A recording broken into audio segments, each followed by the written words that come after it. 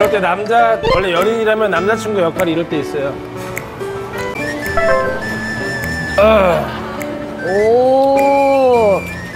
한길이 어, 아, 음. 물 먹으면서 왔는데 아니야, 아니야. 물이 반밖에 없는 덜 떨어졌네. 쌍꺼풀. 따르고 먹고 오빠가 오빠